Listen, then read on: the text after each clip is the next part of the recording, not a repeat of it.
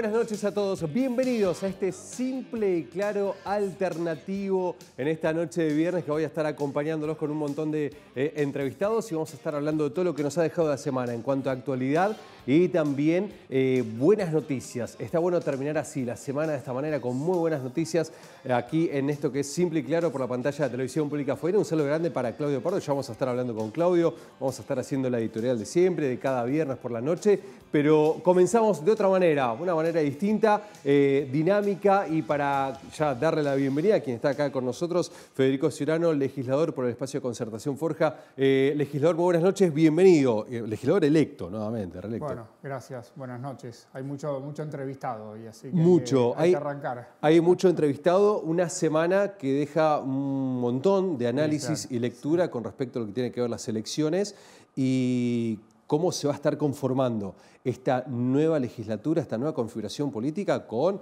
un crisol de nuevos espacios, seis espacios eh, eh, distintos en los cuales va a primar el diálogo, ¿verdad? Bueno, la legislatura actual tiene cinco bloques. este, Razón por la cual yo entiendo que la dinámica va a ser bastante similar porque no hubo posibilidad en la etapa que está terminando este año de poder llegar a algún acuerdo o a consenso si no encontrábamos los ámbitos correctos y adecuados como para poder buscar puntos de acuerdo. Había leyes que eran muy sensibles, que tenían una profundidad muy significativa para todos los fueguinos y desde ahí, digamos, cada uno con su mirada y con su aporte fuimos trabajando en algunos casos con leyes que estuvieron varios años en la legislatura hasta que pudimos llegar a algún punto de acuerdo. Esta legislatura, incluso con cinco bloques, logró resolver temas que hacían más de 30 años que estaban en la legislatura, como el caso Península Mitre o como el caso Salmoneras, que también tenían muchos años. Así que yo en lo personal aspiro a tener, digamos, una relación y una dinámica con todos los bloques que nos permita trabajar en un buen ambiente donde todos estemos buscando este, poder hacer un aporte importante para los que han confiado en nosotros en las elecciones de, este, este, domingo. Claro, como bien decía usted, eh, leyes que hace muchos años estaban ahí esperando una aprobación o esperando por lo menos un, diálogo, un debate, eh, luego fueron aprobadas totalmente necesarias como lo fue como lo es Península Mitre y otras leyes de emergencia, ¿no? Si, si nos retrotraemos un poquito, vamos a lo que fue la época de la pandemia, fueron importantísimas las, las herramientas que utilizó la legislatura para poder aprobar eh, la ayuda necesaria, ¿no? La ayuda sanitaria necesaria para la sí, Ahí surgieron varias leyes. Este, bueno, yo siempre recuerdo el progreso porque fue una iniciativa que propusimos nosotros. Yo ya he relatado esto, que en primera instancia el Ministerio de Economía de aquel momento no lo había visto como una buena herramienta y después, un poco en la relación que he tenido con Gustavo durante todos estos años, pudimos sentarnos a conversar sobre cuál era la idea, la estrategia para poder, sin perjudicar al Estado, poder ayudar al sector privado. Y creo que hoy por hoy todos reconocen que ese trabajo legislativo que se hizo, porque entre la propuesta nuestra Hubieron aportes también de otros actores, por supuesto que del mismo gobierno, que permitió incluso que después el proyecto se transformara en un proyecto del Ejecutivo aprobado por unanimidad por la legislatura. De esa misma manera, digamos, leyes también de emergencia sanitaria que vinieron a propuesta del Ejecutivo, pero que tuvo modificaciones significativas de todos los bloques políticos.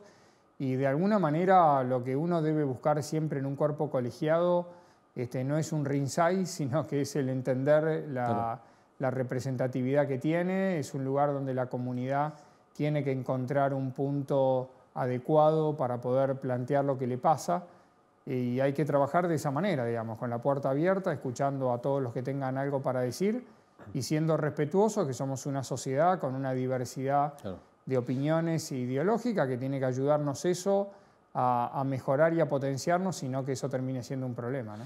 Y hablando de potenciar, bueno, recién mencionaba usted el tema del progreso y estas líneas de financiamiento para las pymes, para los emprendedores, para aquellos que lamentablemente algunos se quedaron sin laburo o tuvieron que reformular sus ingresos. Eh, ¿Se piensa en algún futuro, se piensa ahora en esta nueva legislatura presentar eh, diversos proyectos, ya no de emergencia, sino ya algo de armado una estructura de otra manera económica, reforzar lo económico, reforzar... Bueno, yo creo que es, es fundamental. Este, yo vengo del sector privado, digamos, soy, soy comerciante. Eh, es una actividad que heredé de mi viejo, papá llegó acá hace más de 65 años y nosotros somos una familia que nos hemos dedicado toda la vida a la actividad privada este, y yo nunca he dejado de hacerlo, razón por la cual es un, ámbito que lo conozco perfectamente bien. Soy consciente que la actividad privada y la actividad pública codifican de manera distinta, pero que se necesitan una a la otra. El sector público tiene que ser una plataforma de despegue para que el sector privado sienta la confianza para poder invertir y para poder desarrollar actividades que generen riqueza, que eso es lo que genera empleo. Y teniendo en cuenta además que cuando vos ves las estadísticas, eh, las pymes, las micro, pequeñas y medianas empresas son las que realmente generan empleo y son las que permiten el crecimiento del empleo. Cuando vos ves la estadística te das cuenta que cuando una pyme sobrevive, por llamarlo de una manera, sus primeros siete años, en general duplican la cantidad de empleados con los que empezaron cuando arrancaron. Entonces, ese es un mensaje que nadie puede desconocer y hay que seguir trabajando en herramientas de incentivo. La legislatura ha trabajado en este periodo. Fíjate que hay una ley que sancionamos hace, yo creo que un poquito más de un año atrás o menos de un año, que tiene que ver con que las actividades nuevas que vienen a generar una estructura productiva nueva no paguen ingresos brutos entre 6 y 12 meses, que de alguna manera es un incentivo para que la gente que tiene capacidad de invertir y que tiene iniciativa, que pueda, que lo haga, que tenga un primer empujón, por llamarlo de una manera, del sector público. Este, y de ese tipo de formas hay que seguir trabajando en esas herramientas que a vos te incentivan a invertir, este, sobre todo en un momento de una economía que es delicada y que vos tenés que encontrar algún anclaje para que te sientas con la seguridad de que invertir en Tierra del Fuego vale la pena. ¿no? Y que no solamente invertir en cuanto a la parte, digamos, industrial, o sea, tecnológica, sino también en, cuanto al recurso humano. Eh, bueno, yo creo que esa es la, ese es el diferencial, pero no solamente en Tierra del Fuego, es el diferencial a nivel mundial. Hoy con, con el nivel de información que hay y con el nivel de comunicación que hay, en general las estructuras son bastante similares y eh, la tecnología vuela de un lado hacia el otro muchas veces haciendo que el, vínculo con la novedad sea muy corto, razón por la cual lo que hoy efectivamente marca la diferencia entre el éxito o el fracaso es el factor humano. Cuando vos tenés gente que se siente cómoda, que está comprometida y que ve un futuro previsible para él y para su familia, y que eso hace que uno trabaje en el lugar o en el sector en el que está, poniendo muchas veces más allá de lo que la obligación le significa yo creo que ahí también nosotros tenemos que generar un ambiente de inversión y de trabajo correcto, adecuado. Este, hoy Tierra del Fuego tiene la mirada puesta por inversores internacionales muy importantes. Lo hablamos esto en más de una oportunidad.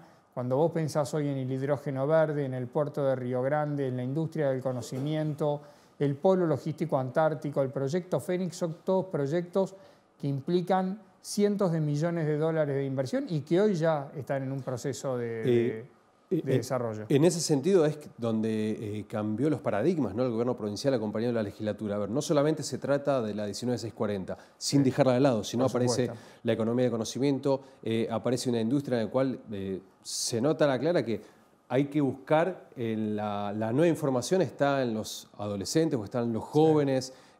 mucho, mucho, se habla mucho de tecnología, mucho de hardware, mucho de cuestiones que están relacionadas con, eso, con ese plan de inversión. Y hay algo nuevo que, eh, y la gente tiene mucha curiosidad también, y tenemos que hablar de energías renovables. ¿A qué, ¿A qué, se apunta con eso? Bueno, totalmente. Hoy por hoy, este, cuando vos hablas de hidrógeno verde, estás hablando de una nueva matriz energética a nivel mundial, que no es una novedad nuestra. Hoy el mundo tiene una agenda, está escribiendo, está reescribiendo una agenda que tiene que ver con la sustentabilidad del planeta y que tiene que, eh, tiene que ver con darnos cuenta que el planeta sin energía no puede funcionar, pero utilizando la energía tradicional que conocemos, claramente vamos a un, colapso que nos va a significar un costo monstruoso para, para los seres humanos. Lo que tiene que ver con, con, este tipo de energía, donde Tierra del Fuego además tiene factores naturales extraordinarios y únicos, que no lo digo yo, lo dicen los estudios de, que se han hecho por gente y por este, sectores que se dedican a eso, lo que tiene que ver con el viento, con las mareas, con herramientas que hoy Tierra del Fuego tiene a disposición, es lo que ha permitido que ya hoy se estén invirtiendo muchos, muchos este, dólares pensando en lo que va a ser esa industria a partir del 2024, 2025, 2026, donde nosotros estamos recién dando los primeros pasos, pero somos los primeros que además estamos orientando esa matriz energética, que no, no solamente nos va a permitir a nosotros nutrirnos de la energía que necesitamos, sino que además a la Argentina le va a generar un recurso en moneda extranjera muy importante, porque además el hidrógeno verde lo que tiene que es exportable, hay mecanismos de exportación, este, y eso creo que va a marcar, junto con el puerto de Río Grande y con el proyecto Fénix, que el proyecto Fénix es traer el gas de los yacimientos offshore, traerlos a, a la isla, a la zona norte de la isla, e industrializarlos en la zona norte de la isla. Por eso que el factor logístico con el puerto de Río Grande va a marcar un punto de inflexión en la realidad productiva y de, desarrollo de recursos que va a tener Tierra al Fuego para las próximas décadas. Prácticamente el legislador adelantó los temas que se van a estar hablando en la legislatura, en la nueva legislatura. Ya sí, son temas que ya se han empezado a tratar, pero que no hay duda que son agendas de mediano y largo plazo.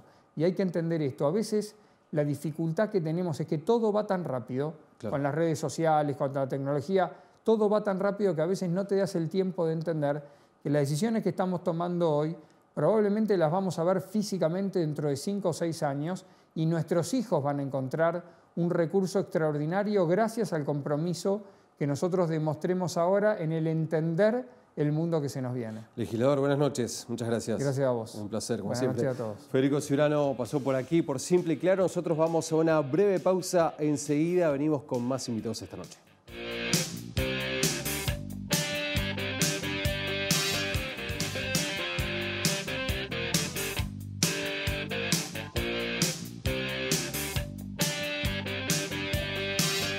Seguimos con más simple y claro versión alternativa. Nos damos un saludo grande a Claudio Pardo, ya vamos a estar en contacto con él en un ratito nada más, pero antes le quiero dar la bienvenida al concejal reelecto del Partido Justicialista, el señor Gabriel de la Vega. Concejal, muy buenas noches, bienvenido y felicitaciones. Buenas noches, Ezequiel, muchas gracias. ¿Cómo le va? ¿Bien? Bien, bien, recién salido del horno. Eh, recién salió del horno, voy a, voy a ir al teléfono. Vamos a repasar. Concejales electos PJ, usted me corrige. Laura Ávila, Gabriel de la Vega, Jessica Garay, Nicolás Peloli y Cristina López. Sí, ¿Mm? correcto. Ahí están entonces los números ya definidos. Recordemos, bueno, obviamente, eh, lógicamente continúa el escrutinio definitivo, que va a pasar ya para estos días lo que será la cuestión de tachas, ¿no? lo que es la parte de, de legislatura, pero lo que nos compete a nosotros es el Consejo Deliberante.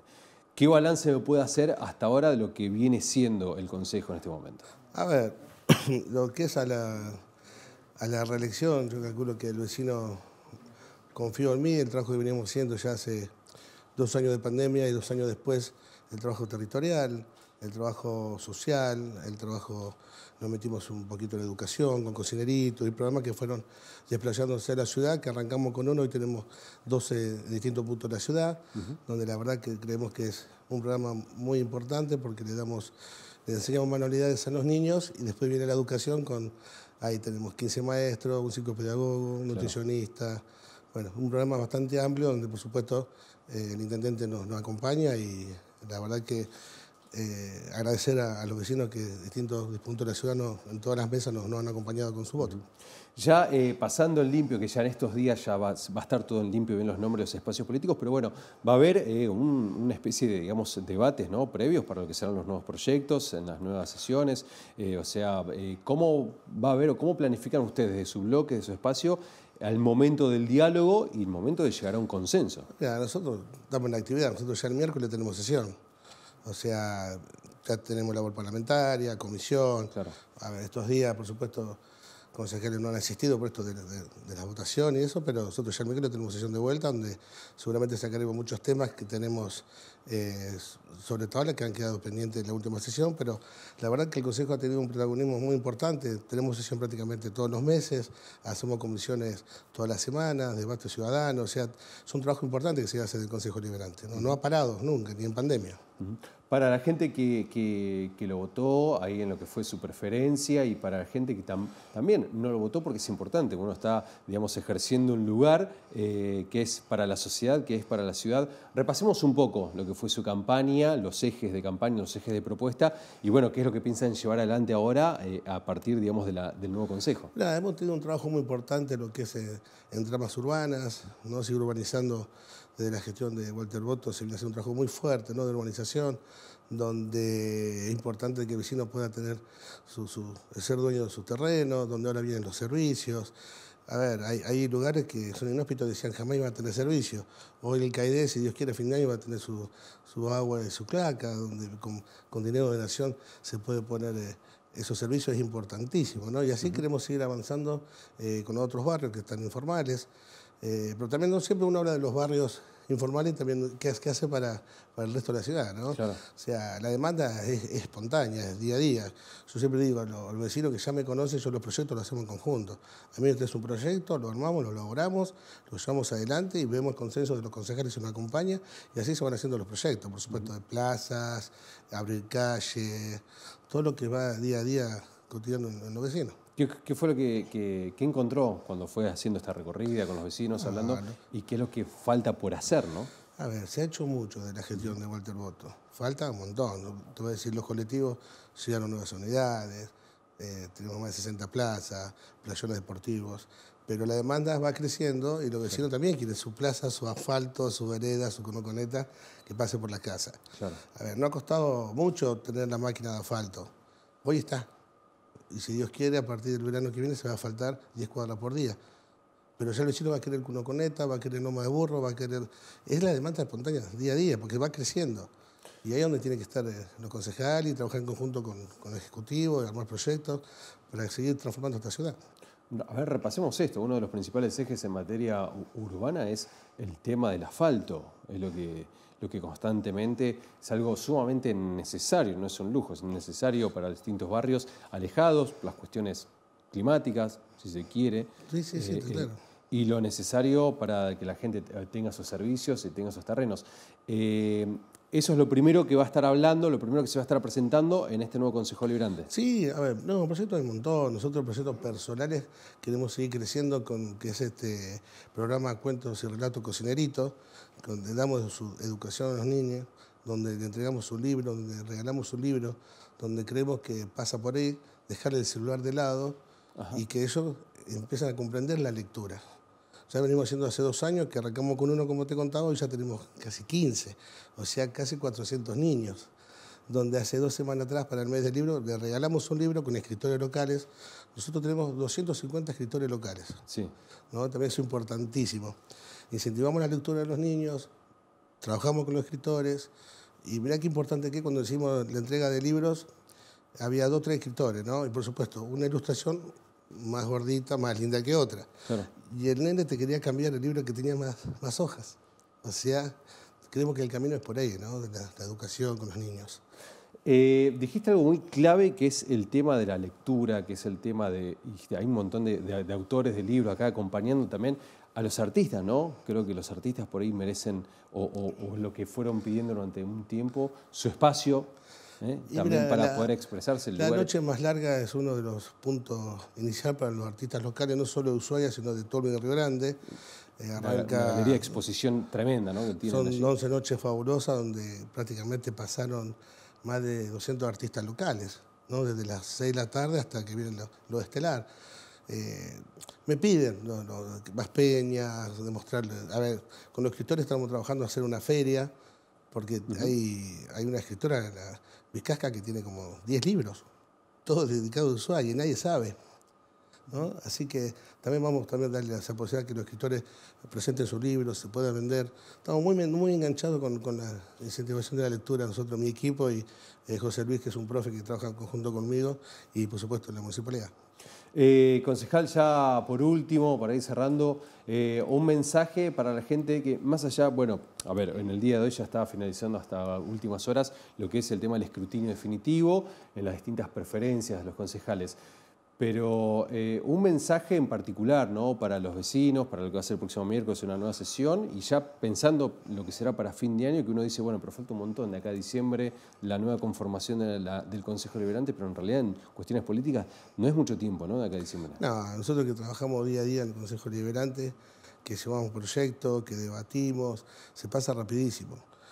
yo lo que quiero en lo personal, que los concejales que son electos ya en el día de hoy, de todos los partidos, que no sean concejales de la oposición o de la destrucción, que sean concejales de la construcción, que sean concejales que vayan a los barrios, que vean las necesidades de los vecinos, que trabajemos en conjunto, que si no le gusta mi proyecto y lo podemos cambiar, lo cambiemos y, y viceversa. No de estar esperando que venga plata de nación y no aprobarla para meter traba a la rueda del Ejecutivo. No, que trabajemos en conjunto con los vecinos, que la verdad que el que pierde son ellos. ¿Cómo, es ese, ¿Cómo hacer, por último, cómo hacer ese diálogo para transformarlo en que no sea oposición? ¿Cómo planifican ese diálogo ahí adentro? Es trabajar para los vecinos. Es trabajar para los vecinos. Ni más ni nada menos a ver, con Oyarzún, que ya es electo, y la, compañera Escalante, yo ya los conozco, hemos trabajado en lo social, pues desde el gobierno eh, me han dado mano con los comedores en pandemia, o sea, venimos trabajando en conjunto. Eh, Belén Montes de Oca por Juntos por el Cambio. También, también sí, yo ya no tengo relación, pero me encantaría conocerla, empezar a charlar desde ahora, para ver cómo, cómo sigue este Consejo Liberante que se va a venir, pero trabajar en conjunto. La verdad que en este momento que está viviendo el país a nivel nacional, Ushuaia no está ajeno y necesitamos trabajar para ello, para los vecinos. Concejal, muchísimas gracias por su tiempo. No, gracias a vos, Ezequiel, la primera que vengo y a disposición. Un gusto conocerlo, porque siempre nos vemos a través de los móviles, pero ahora, ahora, acá en persona un gusto. Igualmente. Eh, nosotros vamos a una nueva pausa, quédate, porque hay mucho más simple y claro acá por la televisión Pública Fuera.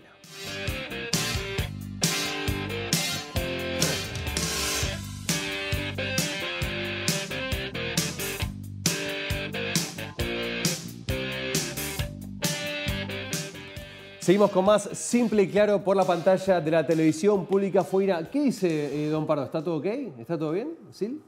Todo ok. ¿Qué dice todo ok? ¿Bien, Claudio? Encanta. Está, está mensajeando, no, no veo un mensaje tuyo, Claudio. Me está preocupando eso.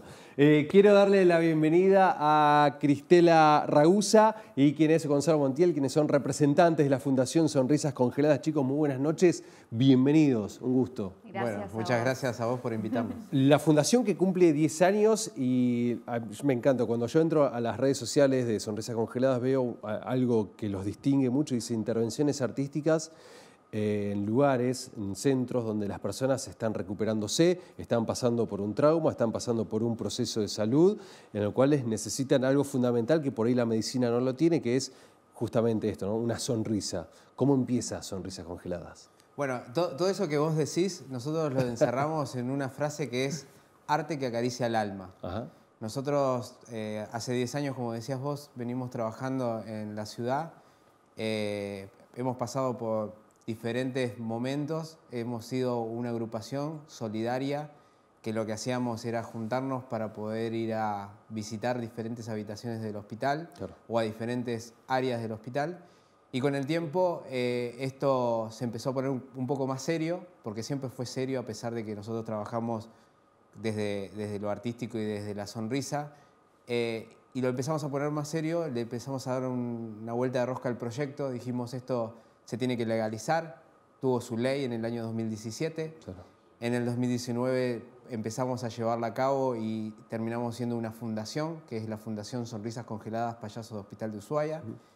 Y hoy en día somos una fundación con una matriculación dentro de, fiscalización sanitaria. Somos la única provincia de la Argentina que tiene payasos de hospital matriculados y registrados y que tienen vigencia su ley eh, en la provincia. Para, ¿Cómo sería matriculado y registrado? O sea, ¿habría que ir por el lado, digamos, estudiarlo? ¿Sería así? No. Bueno, eh, hubo un, un trabajo bastante largo con fiscalización sanitaria eh, y con el Ministerio de Salud, claro. porque en sí el arte escénico que hace el, clown estaría dentro de la carrera de artes escénicas. Entonces, ¿cómo lo regulaba el Ministerio de Salud si es algo que podría ser de educación o podría ser desde otro ámbito, o podría ser de cultura? Eh, ahí nosotros tuvimos que empezar a ver, porque no hay una facultad de payasos de hospital, pero bueno, lo que terminamos cerrando con, fiscalización fue decir, bueno, ¿quién los va a fiscalizar? Nosotros, pero ¿quiénes ustedes van a formar o van a decir quién está apto para poder ingresar a un hospital? Va a ser su fundación o otra fundación que esté con trayectoria, como puede ser la gente de Río Grande, que también están en la misma fecha de que nosotros empezamos. Ellos también empezaron. Y después para los que quieran sumarse, como, como un casting. ¿Cómo, cómo empezaste vos, Cristela, en la fundación? O lo que fue previo a la fundación. Sí, fue, fue previo. Yo empecé hace prácticamente cuatro años en esta fundación porque es el tiempo que yo vivo acá. Desde que llegué, más o menos, eh, me incorporé, pero yo lo vengo haciendo ya eh, desde, desde hace tiempo en, otros lugares, eh, en Rosario más que nada, que es donde, el lugar donde yo soy. Pero, mm, pero bueno, la idea de poder intervenir en, un hospital, con lo complejo que es, es que cada artista que ingresa tenga una formación, una base eh, mínima de, lo que tenga que ver con, las artes escénicas o, las artes en general, porque eh, implican un montón de cuestiones que tienen que ver con lo emocional, que tienen que ver con, bueno, con lo artístico, ni hablar, con exponerse, con tratar con una persona que está en una situación a lo mejor de vulnerabilidad. Entonces hay un montón de cosas que, es importante que se tengan en cuenta. Y nosotros desde que somos fundación todavía no hemos incorporado eh, más, personas, eh, pero, pero bueno, es una idea futuro. Artistas de todo tipo, ¿no? No solamente clown, sino quién más podría ingresar a la, a Mira, fundación. Nosotros, eh, ¿O qué planes tienen, digamos? Lo que estamos trabajando en estos últimos años empezamos a, poder generar la fundación con una formación más de una estructura, ¿no?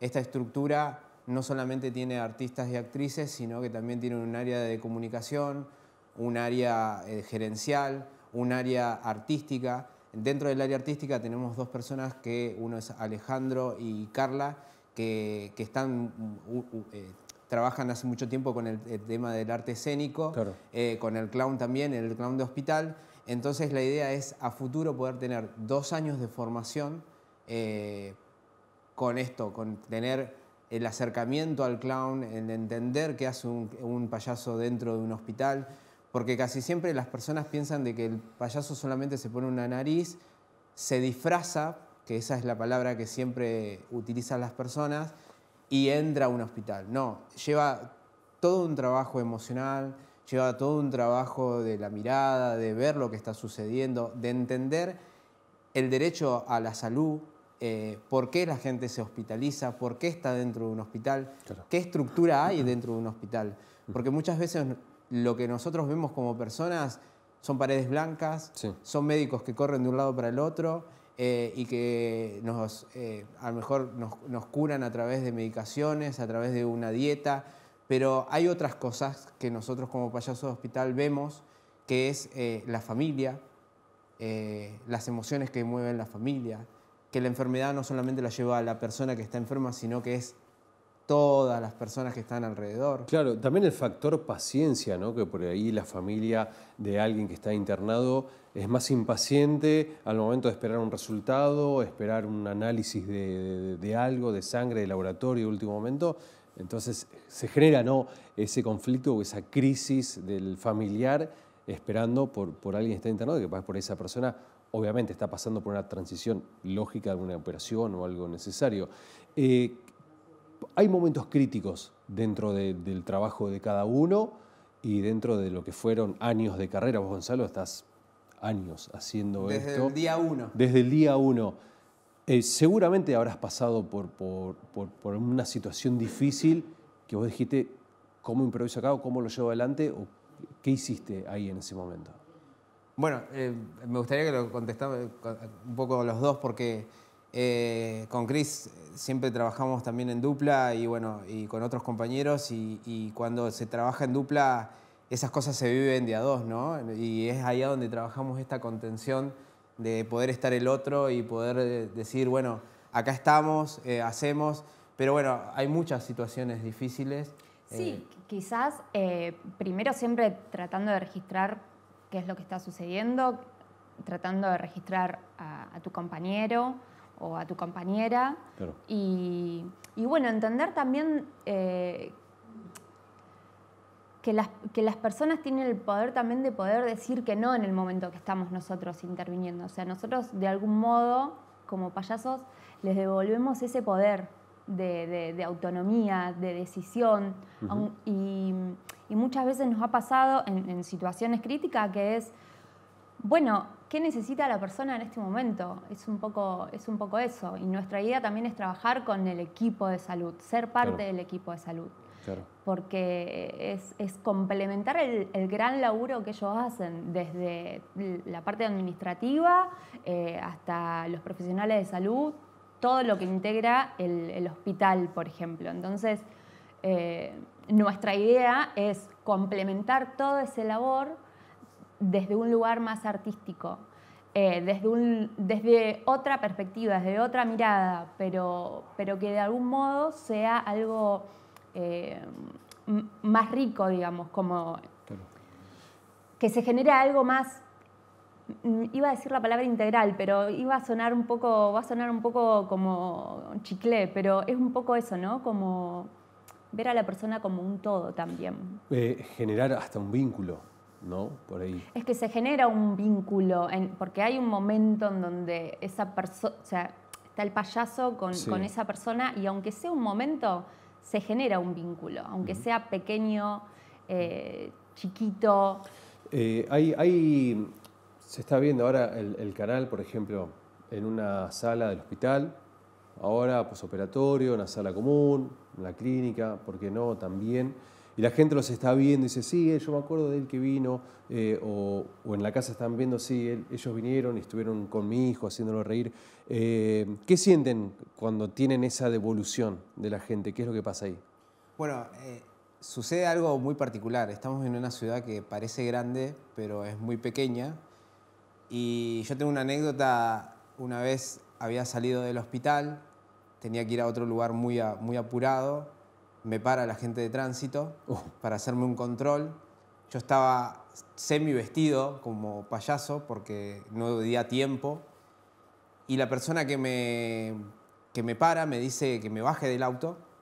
Cuando me bajo del auto dije, bueno, estoy hasta el horno. Eh, y me dice, quería agradecerte porque vos estuviste con mi papá eh, el último tiempo eh, y mi papá fue muy feliz con vos y eso me lo voy a acordar siempre. Eh, y nada, me dice, listo, ahora puedes irte. Sí. Y nada, me dio un abrazo y me fui.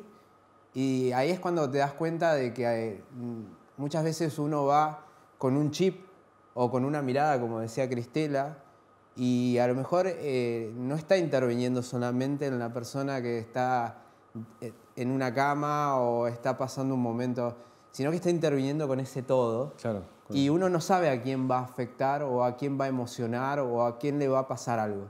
Y replantearse, ¿no? Después, replantearse el, sentido de la vida, un montón de cuestiones, el no estar apurado, como decís vos, va de un lado a otro apurado y por ahí no, me tengo que parar un toque y disfrutar algo más, un montón de cuestiones que, que, tenemos ¿no? enfrente nuestro. Eh, chicos, eh, agradecerles porque hacen el trabajo que no hace cualquiera. Me sorprendió esto que me acabas de decir, Gonzalo. A ver, la fundación tiene eh, un título a nivel nacional, es la única fundación en todo el país.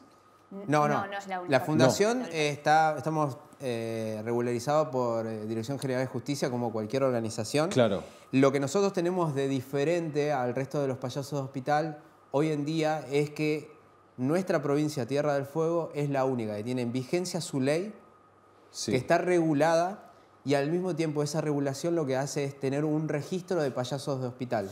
Todos los payasos de sonrisas congeladas están registrados en, fiscalización sanitaria. Dentro del hospital no podría ingresar ningún payaso que no seamos nosotros. Si se quieren regular, tendrían que pasar por nuestra fundación para que nosotros podamos formarlos y poderle darle el ok para poder ir a fiscalización sanitaria. Ahí está, en las redes Fundación Sonrisas Congeladas. Eh, sonrisas Congeladas lo pueden encontrar en cualquier lugar. Ahí está. Lo que nosotros siempre les, decimos a la gente de que todo lo que ustedes ven de sonrisas congeladas, que ven en los medios, que ven en un hospital o que, ven lo que no se ve, eh, nosotros eh, trabajamos gracias a la donación de las personas, de muchas personas de Tierra del Fuego y también de afuera, de algunas organizaciones. Entonces invitamos a que puedan ingresar, que vean los contenidos que tenemos nosotros. En estos 10 años nos estamos un poco presentando y ahí está el link para que puedan ingresar. Nosotros trabajamos hace mucho tiempo con donar.com que nos acompaña. Eh, es muy fácil, pueden ingresar con una tarjeta de crédito, lo pueden hacer también por Mercado Pago. Estamos implementando, ver si podemos implementar un cafecito para que también cafecito, claro, puedan, puedan donar. Y eso nos ayuda a generar otros proyectos que ya tenemos en mente, que estamos por hablar también con diferentes áreas de salud para poder llevar adelante. Esto no es solamente ingresar al hospital, sino que el hospital tiene que ser dentro y fuera. Y, más en Ushuaia, que el hospital es algo muy cercano y que creo que queremos todos y queremos que el hospital cada día crezca más y ayude a esto de dar el derecho a la salud, como siempre decimos con sonrisas congeladas. Chicos, muchas gracias por estar acá con nosotros. Gracias, gracias a vos. Gracias a vos. Eh, nosotros vamos rápidamente, una pausa y ya abrimos.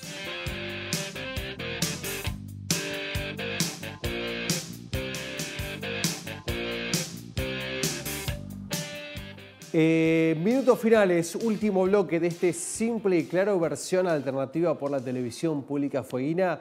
Ha pasado aquí el legislador Federico Ciurano por el espacio Concertación Forja. Ha pasado el concejal electo también nuevamente reelecto, Gabriel de la Vega por el Partido Justicialista. Los chicos que recién estuvimos charlando con Gonzalo Montiel y Cristela Ragusa de la Fundación Sonrisas Congeladas, que este año están cumpliendo 10 años su fundación. Así que hay que bancar a los chicos, hay que acompañarlos, hay que ayudarlos eh, de cualquier manera, como sea ahí la fundación se alimenta, se retroalimenta para con la sociedad a través de las distintas donaciones que podemos hacer desde nuestro lugar, sea como vecino de la ciudad, comerciante, empresa, eh, quienes estén viendo este programa, acompañarlos a los chicos de la Fundación Sonrisas Congeladas. Y ya lo tengo en línea al dueño acá del barco, el señor Claudio. Mirá, se ponen de pie acá, es tremendo, ponen de pie, aplauden todo.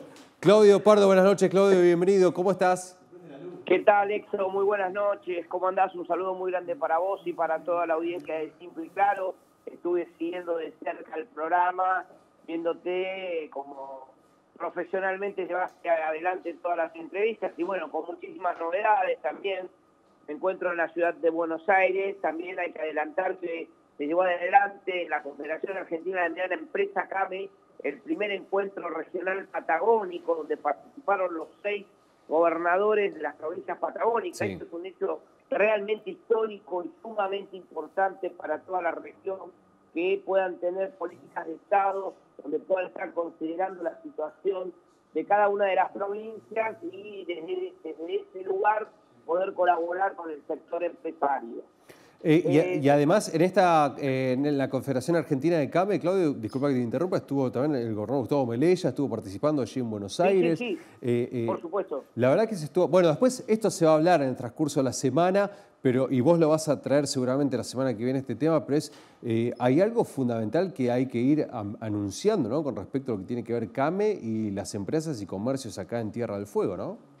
Sí, en Tierra del Fuego y también en, lo había adelantado semanas atrás la presidenta de la Cámara, Claudia Fernández. Antes todo te voy a decir, para no quedar este, descolocado con, esta gran convocatoria que estuvieron presentes, por supuesto, el gobernador de Tierra del Fuego, Gustavo Melella, el gobernador de Chubut, Mario Barcioni, la gobernadora de Río Negro, Adela Carrera, la gobernadora de Río Gallego, Alicia Kirchner, y el gobernador Omar Gutiérrez de Neuquén. O sea, como mencionábamos recién, y en los nombres propios cada uno, conducido, CAME, por supuesto, por Alfredo González y acompañado con mucho gusto, lo tengo que decir, por nuestra presidenta de la Cámara de Comercio de Ushuaia, vicepresidenta de CAME, Claudia Fernández, que es un motor permanentemente, programa anterior la tuvimos acompañándonos, adelantándonos esto, buscando ventajas comparativas para que se pueda seguir tomando trabajadores en la provincia, más allá de todo el escenario político, económico, nacional, la provincia de Tierra del Fuego no cede en su labor de poder este, ir eh, atacando las distintas problemáticas que surgen en términos económicos, políticos a nivel nacional, porque recordemos, mm, en el mes de agosto las pasos, posteriormente vamos a tener elecciones presidenciales, ya lo hecho públicamente la vicepresidenta de la Nación, Cristina Fernández de Kirchner, que no va a participar. No, ahí no sé si... Los sectores a ver qué es lo que va a suceder, ¿no? Ahí está, eh, dijiste algo ahí, justo se, se cortó ahí. La vicepresidenta Cristina Fernández, ¿qué es lo que anunció? Sí, que no va a participar en ningún acto eleccionario, ella no va a formar parte de ninguna fórmula, ni se va a presentar tampoco como candidata a presidenta de ninguna interna. Esto es fundamental también para ver cuál es el abanico de posibilidades que van a tener el Frente de Todos en relación a lo que va a suceder políticamente para adelante. retomando lo que decíamos recién, sumamente importante esta reunión en, en CAME y trayendo para todo eh, el bloque patagónico la posibilidad de poder tener un alivio en términos eh, de impuestos, principalmente en la Tierra del Fuego, lo que tenga que ver el 931 con ese diferencial de zona que tenemos que es de casi del 60% con respecto al resto del país.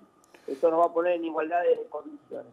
Volviendo al tema político provincial y en este caso local de la ciudad de Ushuaia, esto estuve escuchando atentamente lo que te decía Gabriel de la Vega, a veces por ahí no me llegaba muy bien el audio, pero evidentemente él tiene varios proyectos para llevar adelante, esto es así, le han dado pendiente de su gestión durante estos cuatro años. Y además, bueno, eh, no lo dijo él, pero salió segundo en lo que es en materia de eh, preferencias, el primer eh, candidato, ¿no? El primer candidato hombre a, concejal nuevamente, ocupar la banca. me voy a los números. Repaso con vos, Claudio. Adelante. Ávila, 2.689 preferencias. Tenemos que decir preferencias, ¿sí? No votos. De la Vega, 2060. Cristina López, 1557. De Marco, 1402. Freiberger, 600. 1702, Herrera 1733, Garay 1834, que también entraría, ¿sí? Garay, entra, entra Garay, entra López de la Vega, Ávila, eh, Molina 1431, Ojeda 542 y Nicolás Peloli 1781, que es el otro candidato que entra. Esto fue los últimos datos surgieron hasta último momento, pasadas las 19 horas. A ver, nosotros hoy con el noticiero estuvimos ya de las 10 de la mañana, hubo cuarto intermedio eh, a pedido de lo que fue, y esto ya viene, a ver, para, hay que ordenarlo porque fue una semana álgida desde el miércoles hasta hoy viernes. ¿Por qué, Claudio?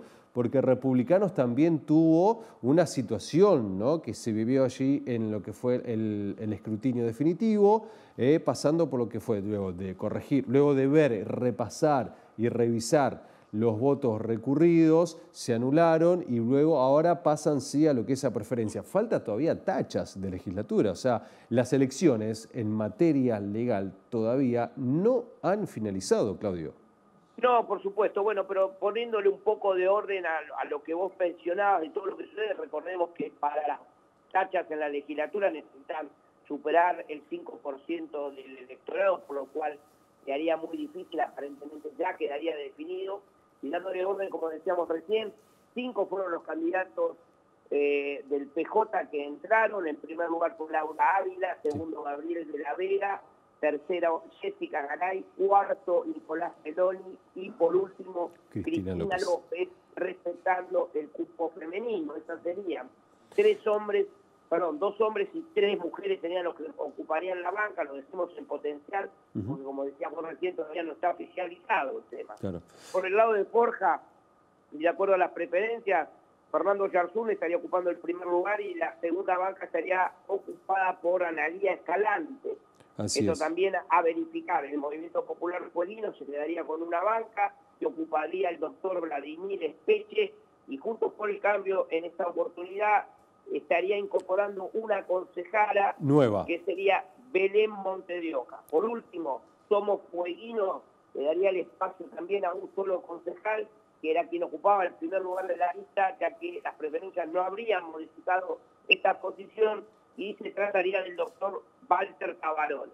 Ese sería extraoficialmente el orden del nuevo Consejo Deliberante de la ciudad de Ushuaia, donde en vez de siete ya pasarían a ser diez bancas oficializadas después de la modificación de la Carta Orgánica. Claro, y además, y además por primera vez, Claudio, agregando a, la editorial que estás haciendo, eh, lo que tiene que ver con la primera vez que va a haber una viceintendente a cargo del Consejo Deliberante.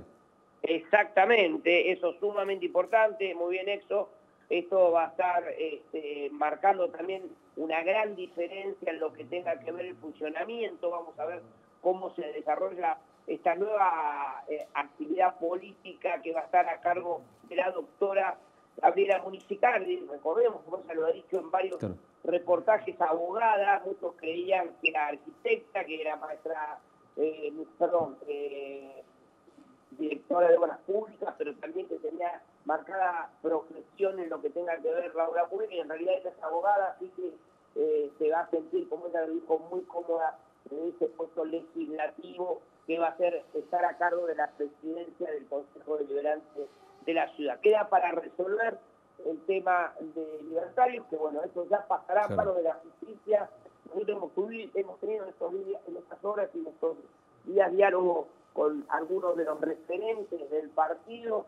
Probablemente ampliemos la semana que viene para saber en qué situación se va a encontrar todo esto, que como decíamos recién, va a quedar en manos de la justicia. Claudio, por último, por último ¿cómo ves vos? Porque lo, lo hablábamos por ahí con, con, algunos de los entrevistados acá y también lo escuchamos por parte de, los políticos, siempre apelando al buen diálogo, al consenso, en la búsqueda eh, de lo que son con, con, los nuevos espacios políticos que lo, que lo van a conformar tanto la Cámara Legislativa como el Consejo Liberante.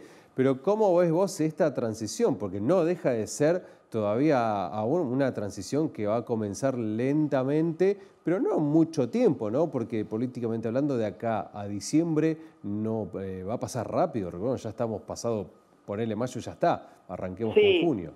Mira, yo, yo hago una, una, lectura política distinta. No, no veo, más allá de los, los cambios en los poderes legislativos, que haya una transición, ya que todos los ejecutivos quedaron a manos de cada uno de quienes los ocupaba. Recordemos que, de acuerdo al, gran acuerdo político que se llevó en la provincia, eh, el intendente Martín vuelve a repetir en Río Grande, el intendente Harrington repite en Tolwyn y el intendente Woto repite aquí en la ciudad de Ushuaia.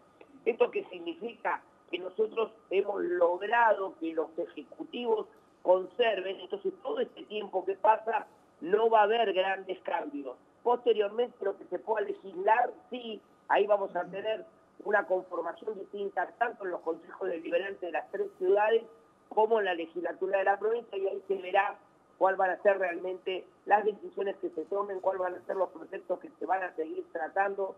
Yo sigo sosteniendo en el tiempo de que es muy importante que las políticas de Estado no sean a corto plazo, sino que cuando haya un proyecto que realmente sea viable, no importa la gestión que lo ejecute, lo lleve adelante en el largo plazo, para que esto, esta política de Estado de previsibilidad y pueda sentar antecedentes de que las cosas se pueden hacer, se pueden empezar y terminar, no importa la gestión del gobierno que esté al frente. Al fin y al cabo es en beneficio del vecino. Claudio, tengo que dejarte, hacemos un breve corte porque ya tenemos que cerrar el programa. Eh, ya está, cerramos todo cerramos todo desde acá, me cerramos, ¿eh? cerramos todo de acá, Claudio. Eh, voy con vos agradecimientos, dale. ¿A quién tenemos que agradecer como cada noche que nos acompaña? Bueno, como siempre, agradeciendo a todo el equipo de Simple y Claro. Fue una semana muy difícil, justo yo viajé a Buenos Aires, entonces se ha hecho un poquito más complicado. Sabemos que Cristian ya no está con nosotros. La semana que viene voy a hacer un poquito más y explayarme cuáles fueron los motivos que hicieron que nuestro gran productor y amigo y mi hijo eh, no nos acompañe, pero bueno, eh, y estaremos seguramente, si Dios mediante lo permite, ya comprometiendo a los ganadores, tanto en los ejecutivos como en los legislativos, para poder seguir dialogando sobre esto que se viene, que es una, una nueva etapa, pero también sin dejar de perder la brújula con lo que va a pasar a nivel nacional. Es sumamente importante porque nuestra situación económica sigue siendo muy delicada y la provincia no deja de ser un pedazo más de la República Argentina. Gracias, Claudio. vamos a seguir hablando. Nos vemos la semana, gracias. Ahí está, muchas gracias. Nosotros nos despedimos, que tengan un excelente fin de semana. Continúen con la programación de la televisión pública Fueguina. Buenas noches.